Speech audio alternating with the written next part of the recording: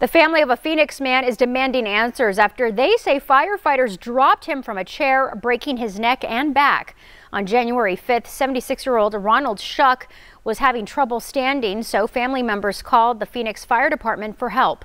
Firefighters checked his vitals, then wanted to take him to the hospital, but they had to get him down three steps.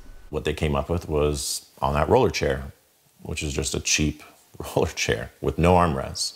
You know, and he's 6'2", 260 pounds. He's not a small person, so I don't understand why they would choose to do that. According to the fire department report, Ronald fell to the ground from the chair while firefighters were lifting him. The report also says he complained of a neck pain, but passed a spinal movement test and could move his arms and legs. Firefighters took him to the hospital where Ryan says his dad became more paralyzed and then died on January 23rd. Phoenix Fire says the incident is under investigation.